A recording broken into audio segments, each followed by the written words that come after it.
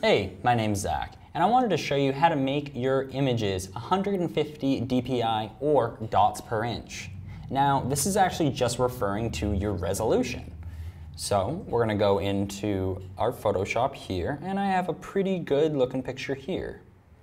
I'm gonna go up to Image and Image Size.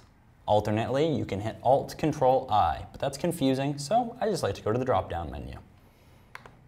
We'll click Image Size, and here in Resolution, all we have to do is change it to 150.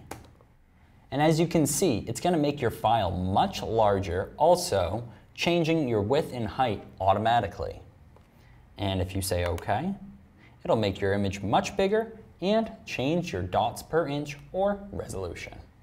My name's Zach, and I just showed you how to change to 150 dpi in Photoshop. Thanks for watching.